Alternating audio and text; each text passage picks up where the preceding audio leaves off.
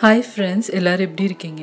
இன்றைக்கி வந்து ஒரு சூப்பரான இன்ட்ரெஸ்டிங் ப்ளாக் நம்ம பார்க்க போகிறோங்க தீபாவளிக்கு இன்னும் ஒரு நாள் தான் இருக்குது ஸோ அதனால் நான் தீபாவளிக்கு வந்து ப்ரிப்பேர் ஆகிட்டுருக்கேன் ஸோ அதை பற்றி தான் இந்த ப்ளாகில் நான் காட்ட போகிறேன் இதில் வந்து பார்த்திங்கன்னா நிறைய வேலைகள் நான் இன்க்ளூட் பண்ணியிருக்கேன். ஏன்னா தீபாவளிக்கு முன்னால் நம்மளுக்கு நிறைய வேலைகள் இருக்கும் இல்லையா? பலகாரங்கள் செய்கிறது அதுக்கப்புறமா நம்ம வந்து நார்மலாக வீடை க்ளீன் பண்ணுறது ப்ளஸ் வந்து அன்னன்னைக்கு நம்ம செய்கிற குக்கிங் இது எல்லாமே இந்த ப்ளாகில் இருக்க போது கொஞ்சம் பிஸியான டே தான் எனக்கு. இதை வந்து நான் ரெண்டு நாளாக நான் வந்து பிரித்து உங்களுக்கு நான் காட்டுறேன். ஸோ டூ டேஸ் vlog இதில் நம்ம வந்து பார்க்க போகிறோம் ஹோப் உங்களுக்கு இன்ட்ரெஸ்டிங்காகவும் யூஸ்ஃபுல்லாகவும் இருக்கும்னு நினைக்கிறேன். வீடியோ ஃபுல்லாக பாருங்கள்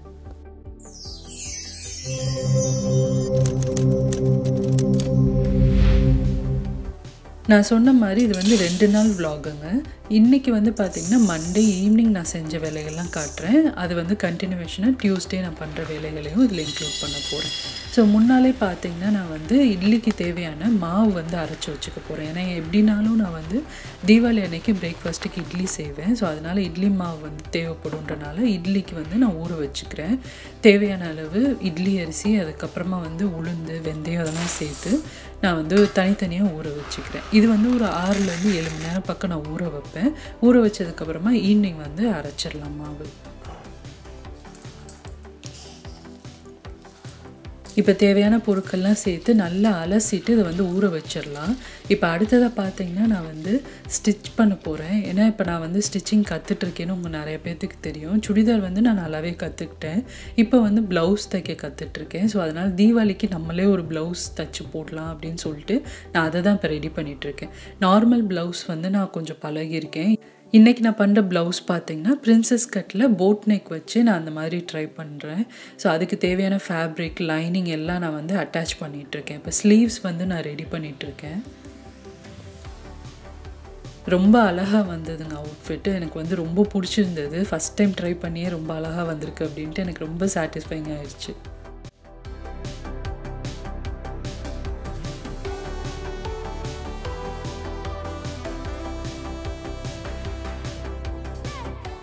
ஒரு நல்ல அவுட்ஃபிட் தைக்கிறதுக்கு நம்ம வந்து ஸ்டிச்சிங்கில் கொஞ்சம் ரூல்ஸ்லாம் இருக்குது அதில் மெயின் பார்த்தீங்கன்னா அயனிங் அயனிங் வந்து கொஞ்சம் சோம்பேறித்தனமாக தான் இருக்கும். ஏன்னா எவ்ரி ஸ்டெப் நம்ம அயன் பண்ணி அயன் பண்ணி தைக்கிறது சோம்பேறித்தனமாக இருக்கும். பட் நம்ம வந்து அதோட அவுட்கம் பார்த்துட்டோம் அப்படின்னா நம்ம வந்து இந்த ஸ்டெப்பை ஸ்கிப் பண்ண மனசே வராது. அந்த அளவுக்கு நீட் ஃபினிஷ் உங்களுக்கு கிடைக்கும். அயன் பண்ணி நம்ம ஒவ்வொரு ஸ்டெப்பையும் தைக்கிறப்போ. அதே மாதிரி அடுத்த ரூல் பார்த்திங்கன்னா இனிஷியலாக நீங்கள் பிகினராக இருந்தீங்க அப்படின்னா பின்னிங்கும் வந்து ரொம்ப அவசியம். என்ன கேட்டால் வந்து நம்ம நல்லா கற்றுக்கிட்டாலுமே பின் பண்ணி தைக்கிறது வந்து ரொம்ப இம்பார்ட்டன்ட்னு சொல்லுவேன். ஸோ இந்த மாதிரி ஒரு சில விஷயங்கள்லாம் நான் வந்து ஃபாலோ பண்ணனால எனக்கு நல்ல அவுட்கம் வந்தது. நான் முடித்ததுக்கப்புறமா உங்களுக்கு நான் காட்டுறேன். இப்போ அடுத்ததை பார்த்தீங்கன்னா ஈவினிங் வந்து நான் இட்லி மாவும் அரைச்சிக்கிறேன். உளுந்து அரிசி எல்லாமே நல்லா ஊறிடுச்சு. ஸோ அதனால் ஃபஸ்ட்டு வந்து கிரைண்டரில் உளுந்து சேர்த்து நல்லா பொங்க ஆட்டிட்டு அதுக்கப்புறமா நம்ம அதை எடுத்ததுக்கப்புறமா அரிசி நான் வந்து அரைச்சிக்க போகிறேன் இட்லி மாவு ரெசிப்பியும் வந்து என்னோடய ரெசிபி சேனல்லையும் இருக்குது நம்மளோட சுஜீஸ் கிச்சன் சேனல்லையும் இருக்குது வீடியோவோட லிங்க் நான் ஷேர் பண்ணுறேன் நீங்கள் செக் பண்ணிக்கோங்க. இப்போ பார்த்தீங்கன்னா உளுந்து நல்லா பொங்கிருச்சு. அடுத்தது அரிசியும் அரைச்சிட்டு உப்பு போட்டு நல்லா மிக்ஸ் பண்ணி நான் வந்து நைட்டு ஃபுல்லாக புளிக்க வைக்க போகிறேன் அவனில். ஸோ இதெல்லாம் புளிச்சதுக்கப்புறமா காலையில் நான் வந்து எடுத்து ட்ரான்ஸ்ஃபர் பண்ணி வச்சுப்பேன். நெக்ஸ்ட் டே நம்ம பார்க்கலாம்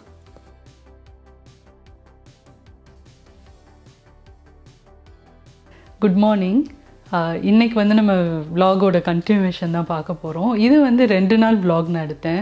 ஏன்னா தீபாவளிக்கு இன்னும் ஒரு நாள் தான் இருக்குது நீங்களும் எல்லோரும் ரொம்ப தடபடலாக ப்ரிப்பேர் ஆகிட்ருப்பீங்கன்னு நினைக்கிறேன்.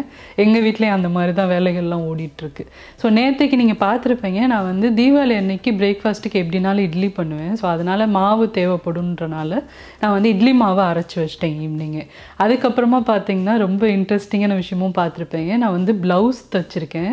ப்ளவுஸ் வந்து நான் இப்போ தான் கற்றுட்ருக்கேன் ஸோ அதனால் நான் பார்த்தீங்கன்னா சரி தீபாவளிக்கு நம்மளே ஏதாவது தச்சு போடலாம் அப்படின்னு சொல்லிட்டு என்கிட்ட இருந்த ஃபேப்ரிக் யூஸ் பண்ணி பிரின்சஸ் கட்டில் ஒரு ப்ளவுஸ் பண்ணலாம் போட் நெக் வச்சு அப்படின்னு சொல்லிட்டு அதுதான் ரெடி பண்ணியிருக்கேன். இப்போ நான் உங்களுக்கு கொஞ்ச நேரத்தில் நான் காட்டுறேன் இந்த ப்ளவுஸோட அவுட்கம் எப்படி இருக்குன்னு நீங்கள் பாருங்கள் ஸோ ஃபஸ்ட்டு ப்ளவுஸ் இது. இதுக்கு முன்னால் நார்மல் ப்ளவுஸ் நான் தச்சுட்டேன். இதுதான் பிரின்சஸ் கட்டில் ஃபஸ்ட்டு ப்ளவுஸு ஸோ தீபாவளி அன்னைக்கு இது போடலாம் அப்படின்னு சொல்லிட்டு தச்சு வச்சுருக்கேன். ஸோ இந்த மாதிரி வேலைகள் எல்லாமே நான் நேற்றைக்கு பண்ணிட்டேன்.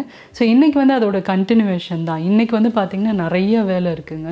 நான் வந்து கொஞ்சம் பலகாரங்களும் செய்ய போகிறேன் ஒரு சில ஃப்ரெண்ட்ஸ்க்கெலாம் கொடுக்க வேண்டியது இருக்குது ஏன்னா அவங்க வீட்டில் ஏதாவது விசேஷம் அப்படின்னா கண்டிப்பாக எங்களுக்கு கொடுப்பாங்க. ஸோ அதனால் நான் வந்து தீபாவளிக்கு அவங்களுக்கு கண்டிப்பாக கொடுக்கணும் அப்படின்றனால நான் வந்து சரி கொஞ்சம் பண்ணலாம் அப்படின்னு சொல்லி நினச்சி வச்சுருக்கேன்.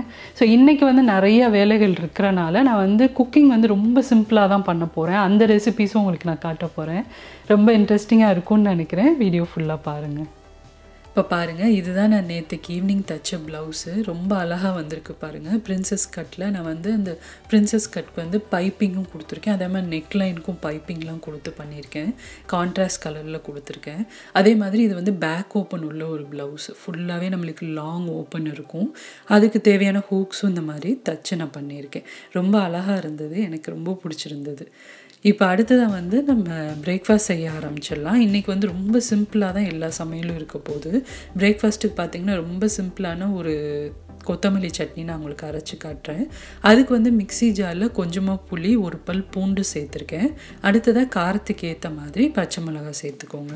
நான் என்னோடய ரெசிபி சேனலில் ஏழு வகையான சட்னி போஸ்ட் பண்ணியிருக்கேன். அதில் இந்த சட்னி ரெசிபியும் இருக்குது அதை நீங்கள் செக் பண்ணிக்கோங்க. இப்போ மிளகா சேர்த்ததுக்கப்புறமா தேங்காய் வந்து ஒரு அரை கப் சேர்த்துருக்கேன். அதுக்கப்புறமா கொஞ்சமாக கருவேப்பிலையும் சேர்த்துருக்கேன். அடுத்ததாக பார்த்தீங்கன்னா ஒரு கட் அளவுக்கு நல்லா கொத்தமல்லி வந்து கட் பண்ணி க்ளீன் பண்ணி எடுத்து வச்சுருக்கேன். ஸோ அதையும் இதில் சேர்த்து நல்லா நைஸான சட்னியாக அரைச்சிடலாம்.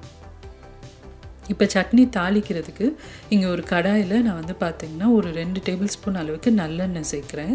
எண்ணெய் சூடானதுக்கப்புறமா கொஞ்சமாக கடுகு சேர்த்துக்கலாம். அது நல்லா பொரிஞ்சதுக்கப்புறமா கொஞ்சம் கருவேப்பிலையும் சேர்த்துக்கிறேன். அடுத்ததாக பாருங்கள் நம்ம அரைச்ச சட்னி இந்த அளவுக்கு நல்லா நைஸாக இருக்குது அந்த சட்னியும் இதில் சேர்த்துடலாம். இது வந்து ரொம்ப நேரம் வதக்க தேவையில்ல. ஜஸ்ட் ஒரு ரெண்டு நிமிஷம் தான் நம்ம அந்த எண்ணெயில் வதக்க போகிறோம் இப்போ வந்து தேவையான அளவு உப்பு சேர்த்துக்கலாம். உப்பு சேர்த்துட்டு உங்களுக்கு தேவைப்பட்டால் நீங்கள் தண்ணி சேர்த்துக்கலாம். இல்லைன்னா இந்த மாதிரி கெட்டியாக கூட நீங்கள் சர்வ் பண்ணலாம். அதுவும் ரொம்ப நல்லாயிருக்கும்.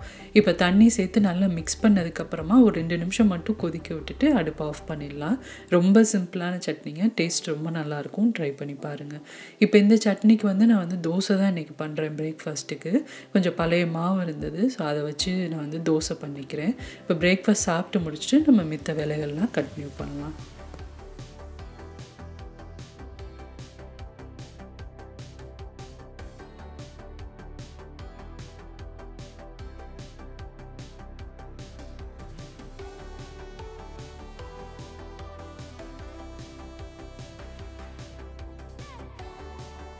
இப்போ பிரேக்ஃபாஸ்ட் சாப்பிட்டு முடிச்சாச்சு. சட்னி அரைச்சிட்டு பழைய தோசை மாவு இருந்தது. ஸோ அதை ஊற்றி சாப்பிட்டுட்டோம். நேற்றுக்கு அரைச்ச இட்லி மாவும் வந்து நல்லா புளிச்சு வந்துருச்சு. ஸோ அதையும் நல்லா மிக்ஸ் பண்ணிவிட்டு ஃப்ரிட்ஜில் ட்ரான்ஸ்ஃபர் பண்ணி எடுத்து வச்சிட்டேன். ஸோ தீபாவளி அன்றைக்கி யூஸ் பண்ணுறதுக்கு சூப்பரான மாவு ரெடியாக இருக்குது நம்மளுக்கு. இப்போ அடுத்ததாக பார்த்தீங்கன்னா நான் வந்து லஞ்சு செய்கிறதுக்கு முன்னாடி ஒரு சில பலகாரங்கள் செஞ்சிடலாம் ஃபஸ்ட்டே அப்படின்னு சொல்லி நினச்சிருக்கேன். ஸோ அதனால் வந்து நான் முறுக்கு செய்ய போகிறேன் ஸோ இன்றைக்கி நான் செய்ய போகிற முறுக்கு வந்து ஆல்ரெடி நான் உங்களுக்கு வந்து போன வாரம் நினைக்கிறேன். நான் போஸ்ட் பண்ணியிருந்தேன் நம்ம சேனலில் கார்லிக் அதுக்கப்புறமா வந்து பார்த்திங்கன்னா காஞ்ச மிளகா அதெல்லாம் வந்து ஊற வச்சு அரைக்கிற முறுக்கு. ரொம்ப டேஸ்ட்டாக இருக்குங்க. இது வந்து நம்ம ரெடிமேட் மாவுலேயே செய்யலாம் அரிசி மாவில். ஸோ ரொம்ப ஈஸியாகவும் செய்கிற மாதிரியான முறுக்கு. அதுக்கு வந்து உளுந்து மட்டும்தான் நம்ம வறுத்து அரைக்கணும். ஸோ அதை வந்து நம்ம இப்போ ரெடி பண்ணிவிட்டு முறுக்கு செஞ்சிடலான்னு பார்க்குறேன் முறுக்கு செஞ்சு முடிச்சதுக்கப்புறமா குயிக்காக லஞ்சு செஞ்சுட்டு அப்புறமா திரும்ப பாக்கி வந்து ஆஃப்டர்நூன் கண்டினியூ பண்ணலான்னு நினைக்கிறேன். இப்போ நம்ம வந்து முறுக்குக்கு தேவையானதை ரெடி பண்ணிடலாம். இப்போ இந்த கார்லிக் முறுக்கு செய்கிறது வந்து நான் ஆல்ரெடி ரெசிபி டீட்டெயிலாக போஸ்ட் பண்ணிட்டேன். பட் குயிக்காக நான் காட்டுறேன். இன்றைக்கி வந்து நான் கொஞ்சம் ஜாஸ்தி குவான்டிட்டி நான் பண்ணுறேன் ஸோ அதனால் கொஞ்சம் ரெண்டு மூணு பேட்சாக நான் பிரித்து மாவு வந்து பிசைய போகிறேன் ஸோ தேவையான பூண்டு அதுக்கப்புறமா மிளகாய் அப்புறமா வந்து பார்த்திங்கன்னா கொஞ்சம் பெருங்காயம் இதெல்லாம் ஊற வச்சுருக்கேன். இப்போ உளுந்தும் வந்து நான் வறுத்து மிக்சியில் அரைக்க போகிறேன் இது மட்டும்தான் நம்ம ரெடி பண்ணணும். மற்றபடி நான் வந்து அரிசி மாவு ரெடிமேட் தான் யூஸ் பண்ண போகிறேன் இன்றைக்கி லார்ஜ் குவான்டிட்டி பண்ணுறனால நான் வந்து எல்லா மாவையும் அட் அ டைம் நான் பிசையலை. ஏன்னா முறுக்கு மாவு வந்து கொஞ்சம் லேட் ஆயிடுச்சு அப்படின்னா புளிச்சிரும். முறுக்கு வந்து டேஸ்ட் நல்லா இருக்காது. அதனால நான் கொஞ்சம் கொஞ்சமாக தான் பேட்ச் மாதிரி பிரித்து நான் செய்ய போகிறேன் இன்றைக்கி வந்து ஒரு ரெண்டு பேட்ச் நான் செய்ய போகிறேன் அடுத்து வந்து நாளைக்கு தீபாவளிக்கு மொதல் நாள் வந்து நான் ஒரு பேட்ச் செஞ்சு முடிக்க போகிறேன் ஸோ அது உளுந்த மாவை நம்ம அரைச்சதுக்கப்புறமா நல்லா வந்து ஜல்லடையில் போட்டு சலிச்சுக்கலாம் ஏன்னா அதில் வந்து குருணை சுத்தமாக இருக்கக்கூடாது குருணை இருந்தது அப்படின்னா முறுக்கு வந்து உங்களுக்கு எண்ணெயில் போடுறப்ப வெடிக்கும்.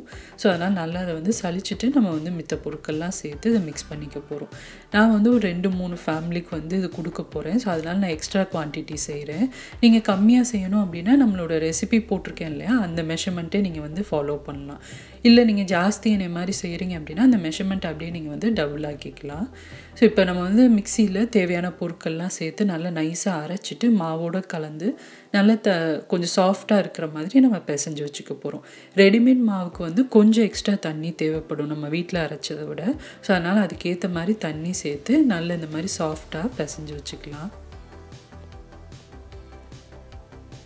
இப்போ மாவு நம்மளுக்கு ரெடி ஆயிடுச்சு நான் வந்து ஒரு ஈரத்துணி போட்டு இதை மூடி வச்சுட்டு முறுக்கு வந்து புழிஞ்சு வச்சுக்க போகிறேன் பார்த்தீங்கனாலே தெரியும் நான் கம்மியான குவான்டிட்டி தான் பிசைஞ்சிருக்கேன். ஏன்னா அதிகமாக பிசைஞ்சு நம்ம எல்லா முறுக்கும் சுட்டு எடுக்கிறதுக்குள்ளே அது கொஞ்சம் புளிச்சிரும். ஸோ அதனால் கண்டிப்பாக அது நல்லா இருக்காது முறுக்கு.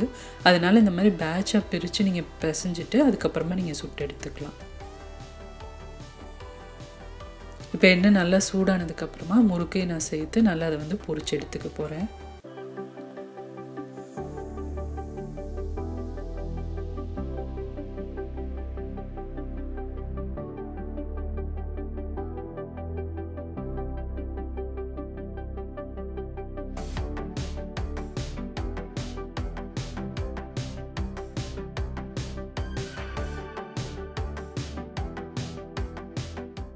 இப்போ நான் மாவு பிசைஞ்ச பேட்ச் முடிஞ்சதுக்கப்புறமா அடுத்து அதே அளவு நான் இன்னொரு பேட்சும் பிசைஞ்சு முறுக்கு எல்லாமே நான் சுட்டு எடுத்துக்கிட்டேன். அது எல்லாத்தையும் நல்லா ஆற வச்சுட்டு அதுக்கப்புறமா நான் வந்து டபராவில் வந்து ஸ்டோர் பண்ணிக்கிட்டேன்.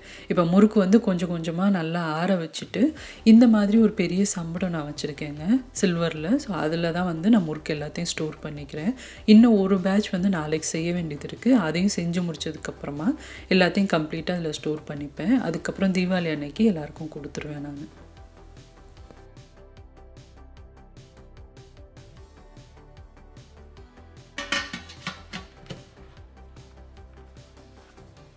இப்போ வந்து லஞ்சு செய்கிறதுக்கு டைம் ஆயிடுச்சு. ஸோ அதனால் இன்றைக்கி வந்து நான் ரொம்ப சிம்பிளான ஒரு லஞ்சு தாங்க செய்கிறேன் இதை கண்டிப்பாக நீங்களும் ட்ரை பண்ணுங்கள் ரொம்ப கம்ஃபர்ட்டான ஒரு ஃபுட்டாக இருக்கும். உங்களுக்கு உடம்பு சரியில்லை இல்லை லேசியாக இருக்கீங்கன்னா கூட இந்த ஃபுட் நீங்கள் ட்ரை பண்ணலாம். ரொம்ப நல்லாயிருக்கும் ஸோ இது செய்கிறதுக்கு பார்த்தீங்கன்னா ஃபஸ்ட்டு நான் ஒரு உரலில் கொஞ்சமாக இஞ்சி ரெண்டு பல் பூண்டு நல்லா தட்டிக்கிறேன். அதிலே வந்து பார்த்தீங்கன்னா ஒரு மூணு சின்ன வெங்காயமும் சேர்த்து நல்லா இடிச்சிக்கிறேன்.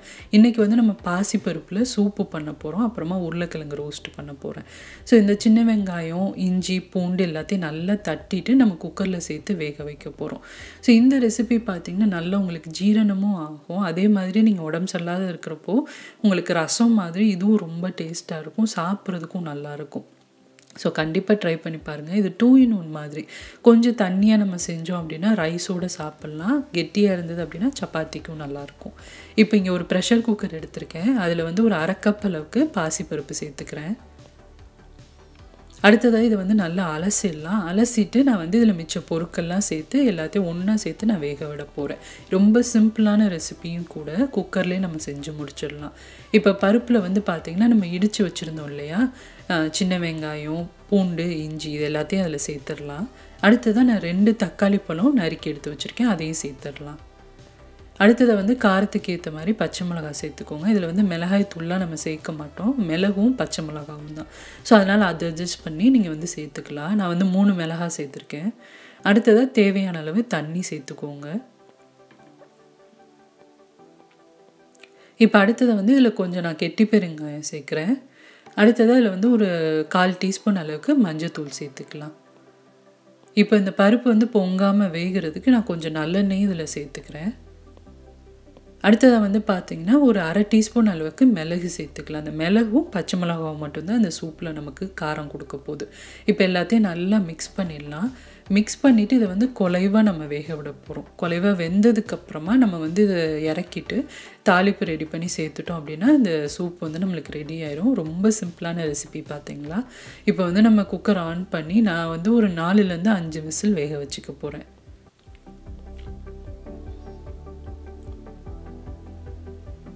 இப்போ இந்த சூப்புக்கு ஒரு பெஸ்ட்டு காம்பினேஷன் பார்த்தீங்கன்னா உருளைக்கிழங்கு ரோஸ்ட் ரொம்ப நல்லாயிருக்கும். ஸோ அதை வேக வைக்கிறதுக்கு நான் இந்த மாதிரி க்யூப்ஸ் மாதிரி கட் பண்ணி எடுத்துக்கிறேன். இதுவும் ஒரு சிம்பிளான ரெசிபி தாங்க. இதுவும் எல்லாத்துக்கூடயும் நீங்கள் சர்வ் பண்ணலாம். ரொம்ப நல்லாயிருக்கும். ஸோ இப்போ கட் பண்ணிவிட்டு நான் வந்து ஒரு பாத்திரத்தில் சேர்த்து வேக விட போகிறேன் இப்போ உருளைக்கிழங்கு ரோஸ்ட்டு செய்கிறதுக்கு இங்கே வந்து நான் ஒரு கேஸ்டைன் கடாய் நான் சூடு பண்ணியிருக்கேன். கேஸ்டைனில் நம்ம ரோஸ்ட் இந்த மாதிரி இதெல்லாம் செய்கிறப்போ ரொம்ப டேஸ்ட்டு நல்லாயிருக்கும் நல்லா கிறிஸ்பியாகவும் வரும். ஸோ அதனால் எப்பயுமே நான் கேஸ்டைன் தான் யூஸ் பண்ணுவேன். ஸோ இந்த கடாய் வந்து நல்லா சூடானதுக்கப்புறமா நான் வந்து ஒரு மூணு டேபிள் ஸ்பூன் பக்கம் எண்ணெய் சேர்த்துக்கிறேன். இதில் வந்து தாளிக்கிறதுக்குலாம் நம்ம எதுவுமே சேர்க்க தேவையில்ல. டேரெக்டாக நம்ம வேக வச்சுருக்கோம் இல்லையா? உருளைக்கிழங்கு அதை அப்படியே சேர்த்துடலாம். இதுக்கும் ரொம்ப மசாலாலாம் தேவைப்படாதுங்க. வீட்டில் அரைச்ச குழம்பு மிளகாய் தூள் வச்சுருக்கேன். அதை வந்து இதில் சேர்த்துடலாம். தேவையான அளவு சேர்த்துக்கோங்க. நான் வந்து ஒரு ஒன்றரை டீஸ்பூன் அளவுக்கு சேர்க்குறேன். இப்போ அடுத்ததாக வந்து இந்த உருளைக்கிழங்கு ரோஸ்ட்டுக்கு தேவையான அளவு உப்பு சேர்த்துடலாம். இதுக்கு அவ்வளோதான் மசாலா நம்ம சேர்க்க போகிறோம் கடைசியாக கொஞ்சம் சோம்பு வெள்ளைப்பூடு இதெல்லாம் சேர்க்க போகிறோம் இப்போ நல்லா அதை வந்து மிக்ஸ் பண்ணி விட்டுடலாம். மிக்ஸ் பண்ணிவிட்டு தீ வந்து கம்ப்ளீட்டாக கொஞ்சம் மீடியமாக இருக்கிற மாதிரி பார்த்துக்கோங்க. ரொம்ப ஹையில் இருந்தது அப்படின்னா தீஞ்சு போயிடும். மீடியமாக வச்சு நல்லா அதை வந்து ரோஸ்ட் பண்ணிக்கலாம். கிறிஸ்பி ஆகிற வரைக்கும் ரோஸ்ட் பண்ண போகிறோம் இப்போ பாருங்கள் நம்ம வந்து பாசிப்பருப்பு சூப்புக்கு வேக வச்ச பருப்பு வந்து நல்லா சூப்பராக வெந்துருச்சு. குலைவாக வெந்திருக்கு பார்த்தீங்களா ஒரு கரண்டி யூஸ் பண்ணி நல்லா அதை வந்து மிக்ஸ் பண்ணி விட்டுடலாம் நான் சொன்ன மாதிரி உங்களுக்கு சப்பாத்திக்கு சர்வ் பண்ணணும் அப்படின்னா இந்த ஸ்டேஜில் நீங்கள் வந்து தாளிப்பு சேர்த்துட்டு நீங்கள் வந்து சப்பாத்தி கூட சர்வ் பண்ணலாம். ரொம்ப நல்லாயிருக்கும் இப்போ நம்ம சாதத்தோடு சாப்பிட போகிறோம் அப்படின்னா கொஞ்சம் எக்ஸ்ட்ரா தண்ணி சேர்த்துக்கலாம். தண்ணி சேர்த்துட்டு இதை மிக்ஸ் பண்ணி ஒரு ரெண்டு நிமிஷம் மட்டும் நம்ம கொதிக்க விட போகிறோம் அதுக்கப்புறமா தாளிப்பு சேர்த்துடலாம். இப்போ உருளைக்கிழங்கு ரோஸ்ட்டே அப்பப்போ நீங்கள் கிளறி விடணும்? அப்போ தான் உங்களுக்கு எல்லாமே ஈவனாக ரோஸ்ட் ஆகும். இப்போ பாசிப்பருப்பு சூப் வந்து நல்லா கொதிச்சிருச்சு. கடைசியாக நான் வந்து கொத்தமல்லி கொஞ்சம் நிறையா சேர்த்துக்கிறேன். அடுத்ததாக அந்த சூப்புக்கு தேவையான அளவு உப்பு சேர்த்துடலாம். இப்போ அவ்வளோதாங்க எல்லாமே சேர்த்தாச்சு. நல்லா அதை மிக்ஸ் பண்ணி விட்டுடலாம் மிக்ஸ் பண்ணிவிட்டு இப்போ இதுக்கு ஒரு தாளிப்பு நம்ம ரெடி பண்ண போகிறோம் ரொம்ப குவிக்காகவும் முடிஞ்சிச்சு பார்த்தீங்களா குக்கர்லேயே நீங்கள் செய்யலாம். இதை வந்து நீங்கள் பாத்திரத்துலேயும் செய்யலாம். பட் கொஞ்சம் டைம் எடுக்கும். குக்கரில் செஞ்சீங்க அப்படின்னா ஈஸியாக முடிஞ்சிடும் இப்போ இந்த தாளிப்பு ரெடி பண்ணுறதுக்கு நான் இங்கே ஒரு பேனில் ஒரு டீஸ்பூன் அளவுக்கு எண்ணெய் சேர்த்துருக்கேன். எண்ணெய் சூடானதுக்கப்புறமா ஒரு அரை டீஸ்பூன் அளவுக்கு கடுகு சேர்த்துக்கலாம். அடுத்ததாக இதில் ஒரு ரெண்டு துண்டு அளவுக்கு பட்டை சேர்க்குறேன். அடுத்ததாக ஒரு அரை டீஸ்பூன் அளவுக்கு சோம்பு சேர்த்துக்கலாம். எல்லாம் பொரிஞ்சதுக்கப்புறமா கொஞ்சம் கருவேப்பிலை சேர்த்துடலாம். அவ்வளோதான் அதுக்கு தாளிப்பும் ரெடி ஆயிடுச்சு. இப்போ நம்ம செஞ்சு வச்சுருக்க சூப் கூட அதை கலந்துடலாம். அவ்வளோதான் நம்மளுக்கு ரொம்ப சிம்பிளான பாசிப்பருப்பு சூப் ரெடி ஆயிடுச்சு. இப்போ உருளைக்கிழங்கு ரோஸ்ட் வந்து நல்லா கொஞ்சம் ரோஸ்ட் ஆயிடுச்சு கடைசியாக நான் வந்து பார்த்தீங்கன்னா ஒரு அரை டீஸ்பூன் அளவுக்கு சோம்பு கொஞ்சம் வெள்ளைப்பூடு சேர்த்து நல்லா இடித்து இதை வந்து அந்த ரோஸ்ட்டோட கலந்துட போகிறேன் இது வந்து டேஸ்ட் ரொம்ப நல்லா இருக்குங்க. ஃப்ளேவரும் சூப்பராக இருக்கும். ட்ரை பண்ணி பாருங்கள் நல்லா இடித்ததுக்கப்புறமா நான் வந்து உருளைக்கிழங்கு ரோஸ்ட்டோடு சேர்த்துட்டு கொஞ்சம் கறிவேப்பிலையும் சேர்த்து நல்லா அதை வந்து மிக்ஸ் பண்ணிட போகிறேன் சேர்த்ததுக்கப்புறமா ஒரு ஒரு நிமிஷம் மட்டும் நம்ம ரோஸ்ட் பண்ணால் போதும். சூப்பரான ரோஸ்ட் நம்மளுக்கு ரெடி ஆயிரும். இப்போ லஞ்சு ரெடி ஆயிடுச்சு. நான் லஞ்சை சர்வ் பண்ண போகிறேன் ரொம்ப சிம்பிளான லஞ்சுங்க. ஒரு ஹாஃப் அன் ஹவர் தான் ஆச்சு எனக்கு இது சமைக்கிறதுக்கு. அவ்வளோ குயிக்காக முடிஞ்ச வேலை. கண்டிப்பாக நீங்களும் வந்து ட்ரை பண்ணி பாருங்கள் பிஸியாக இருக்கிற டைம் இல்லை உடம்பு சரியில்லாதப்ப நீங்கள் வந்து ஏதாவது நல்லா சாப்பிட்ணுன்னு நினச்சிங்கன்னா இந்த மாதிரி லஞ்ச் நீங்கள் ட்ரை பண்ணலாம். ரொம்ப நல்லாயிருக்கும் இப்போ லஞ்சு சாப்பிட்டு முடிச்சதுக்கப்புறமா நான் தீபாவளி பலகாரங்கள் செய்கிற வேலையை வந்து கண்டினியூ பண்ணுறேன் காலையில் வந்து ஒரு ரெண்டு பேட்ச் முறுக்கு செஞ்சு முடிச்சாச்சு. ஸோ இப்போ வந்து பார்த்திங்கன்னா நான் வந்து மைசூர் பாக் செஞ்சிட்ருக்கேன். ஸோ அதுக்கப்புறமா நான் வந்து கொஞ்சம் ரவா லட்டும் செய்யலாமான்னு பார்க்குறேன் பட் டைம் எப்படி இருக்கும்னு தெரியல. பார்த்துட்டு தான் செய்யணும். பட் மைசூர் பாக் வந்து நான் இப்போ செஞ்சிட்ருக்கேன். ஃப்ரெண்ட்ஸ்க்கெலாம் கொடுக்குறதுக்காண்டி. ஸோ இப்போ வந்து மைசூர் பாக் செய்கிறதுக்கு நான் வந்து கடலை மாவை கொஞ்சம் ரோஸ்ட் பண்ணிட்டு நெய்யோடு கலந்து நல்லா மிக்ஸ் பண்ணி வச்சுட்டேன். அப்புறமா சக்கரை பாகு எடுத்து பண்ணிடலாம். சக்கரைப்பாகு வந்து கலர் பார்த்திங்கனாலே தெரியும். இது வந்து ஒயிட் சுகர் கிடையாது. நான் கொஞ்சம் ஆர்கானிக் சுகர் வாங்கியிருக்கேன். இது ரீஃபைன் பண்ணாத சுகர் அதனால் உங்களுக்கு கலர் வந்து இந்த மாதிரி தான் இருக்கும். ரொம்ப நல்லது அது கம்பேரிட்டிவ்லி அதை விட. ஸோ அதனால் இதுதான் நான் யூஸ் பண்ணியிருக்கேன் அதில் இப்போ வந்து நான் கடலை மாவு கரைச்சி வச்சுருந்தது இதில் சேர்த்து நல்லா கலந்துக்கிறேன் நான். ஸோ இந்த ரெசிபி வந்து நான் ஆல்ரெடி போஸ்ட் பண்ணியிருக்கேன். ஸோ லிங்க் தரேன் செக் பண்ணி பாருங்கள் அந்த வெரைட்டி மைசூர் பாக் தான் இன்றைக்கி நான் பண்ணுறேன் நான் ரெண்டு வெரைட்டி போஸ்ட் பண்ணியிருந்தேன். அதில் ஃபஸ்ட்டு வெரைட்டி தான் நான் இப்போ செஞ்சிட்ருக்கேன். இப்போ பார்த்தீங்கன்னா எல்லாம் ரெடியானதுக்கப்புறமா இந்த மாதிரி ஒரு ட்ரெயில் மாற்றி வச்சுருக்கேன். நல்லா கொஞ்சம் ஆறுனனையும் பீசஸ் போட்டு நம்ம எடுத்து வச்சிடலாம். இப்போ ஓப்பன் பண்ணி நான் காட்டுறேன். பாருங்கள் எந்த அளவுக்கு சாஃப்டாக இருக்குன்னு. சூப்பராக இருக்குங்க. கம்ப்ளீட்டாக அது வந்து கீல பண்ணுறது தான் இதில் நான் வந்து ஆயில் எதுவும் சேர்க்கல. கம்ப்ளீட்டாக கீல பண்ணியிருக்கேன். ரொம்ப சூப்பராக இருந்தது சாஃப்டாக ஸோ இப்போ வந்து கொஞ்சம் ஆறுனதுக்கப்புறமா நான் வந்து இதை ஒரு பாக்ஸில் மாற்றி வச்சுக்கிறேன். இப்போ அடுத்ததாக வந்து பார்த்திங்கன்னா கம்ப்ளீட்டாக நான் வந்து க்ளீனிங் வேலைலாம் பண்ண போகிறேன் தீபாவளிக்கு முன்னால் எப்பயுமே நான் வந்து கொஞ்சம் க்ளீன் பண்ணுவேன். பட் இன்றைக்கி நம்ம வந்து வேலை நிறையா இருந்தனால நான் வந்து இதையும் ரெண்டு பேட்சாக பிரித்து நான் செய்ய போகிறேன் காலையில் வந்து கொஞ்சம் க்ளீனிங் பண்ணேன். இப்போ வந்து பார்த்திங்கன்னா நான் டஸ்ட்பின் இதெல்லாம் க்ளீன் பண்ணிகிட்ருக்கேன் எங்களுக்கு வந்து இங்கே மூணு வேஸ்ட்டை நாங்கள் பிரிப்போம். ஜென்ரல் வேஸ்ட் இருக்கும். அப்புறம் வந்து ரீசைக்கிள் அப்புறமா ஃபுட் வேஸ்ட் ஸோ அந்த பின் நான் யூஸ் பண்ணுறது தான் இந்த மாதிரி பெருசாக வச்சுருக்கேன். ரெண்டு வந்து ஜென்ரல் வேஸ்ட்டுக்கும் ரீசைக்கிளுக்கும் ஃபுட் வேஸ்ட்டுக்கு வந்து ஒரு குட்டி பின் வச்சுருக்கேன். இது எல்லாத்தையும் கொஞ்சம் அப்பப்போ நான் க்ளீன் பண்ணுவேன் இந்த மாதிரி டீப் க்ளீனு பட் இப்போ பண்ணி ஒரு டூ த்ரீ மந்த்ஸ் ஆகிடுச்சு ஸோ அதனால் சரி இன்றைக்கி நல்லா க்ளீன் பண்ணிடலாம் அப்படின்ட்டு கார்டனில் எடுத்துகிட்டு போயிட்டு நல்லா க்ளீன் பண்ணுறேன் இது வந்து கொஞ்சம் நம்மளுக்கு பின்ன அப்பப்போ மெயின்டைன் பண்ணால் தான் அது நீட்டாக இருக்கும். இல்லைனா வந்து ஒரு மாதிரி ஸ்மெல் அடிக்கிற மாதிரி இருக்கும் இல்லையா? ஸோ அதனால் எப்பயுமே நான் ஒரு டூ த்ரீ மந்த்ஸ் ஒன்ஸ் இந்த மாதிரி க்ளீன் பண்ணுவேன். ஸோ இதெல்லாம் க்ளீன் பண்ணி முடிச்சுட்டு தான் நம்ம வந்து வீட்டுக்குள்ளே போயிட்டு மிச்ச க்ளீனிங்கையும் பார்க்கணும். இப்போ இங்கே வின்டரும் ஸ்டார்ட் ஆயிடுச்சு ஸோ அதனால் பார்த்திங்கன்னா ரொம்ப குளிர் இருக்குது அதுவும் தண்ணியில் நின்று இது மாதிரி வேலை பார்க்குறது அப்படின்னா க ரொம்பவே கஷ்டமாக தான் இருக்கும். பட் வேறு வழி இல்லை. கொஞ்சம் இதை க்ளீன் பண்ணால் தான் நமக்கு நல்லாயிருக்கும் அப்படின்றனால நான் இப்போ க்ளீன் பண்ணிகிட்ருக்கேன் இந்த சின்ன பின் வந்து பார்த்திங்கன்னா இது ஃபுட் வேஸ்ட் போடுற பின்னு அது வந்து கொஞ்சம் சின்னதாக தான் வச்சுருக்கேன்.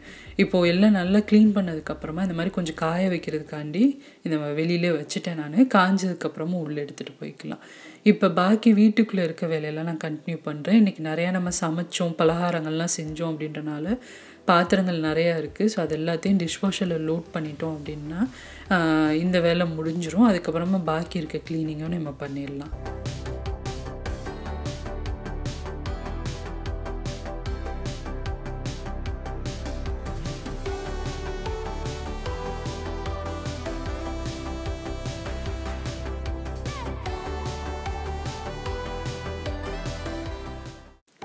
இப்போ சிங்கையும் நல்லா நம்ம க்ளீன் பண்ணிவிட்டு கவுண்டர் டாப்பையும் க்ளீன் பண்ணி முடிச்சிடலாம். அதுக்கப்புறமா ஃப்ளோரை வந்து நான் வேக்யூம் பண்ண போகிறேன் அடுத்ததை வந்து அடுப்பும் துடைக்க வேண்டியது இருக்குது எண்ணெய்லாம் நிறையா சிந்திருந்தது பலகாரம் செஞ்சனால.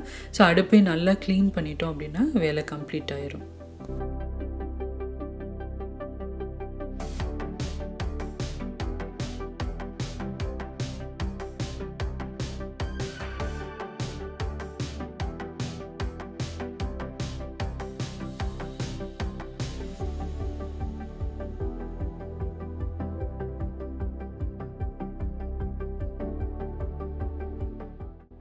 இப்போ இந்த க்ளீனிங்லாம் முடிச்சிட்டேன் அப்படின்னா எனக்கு வேலை வந்து கம்ப்ளீட் ஆகிடும் இன்னும் கொஞ்சம் பலகாரங்கள் செய்ய வேண்டியது இருக்குது பாக்கி செய்ய வேண்டிய முறுக்கு இதெல்லாம் வந்து நாளைக்கு நான் செஞ்சுருவேன்.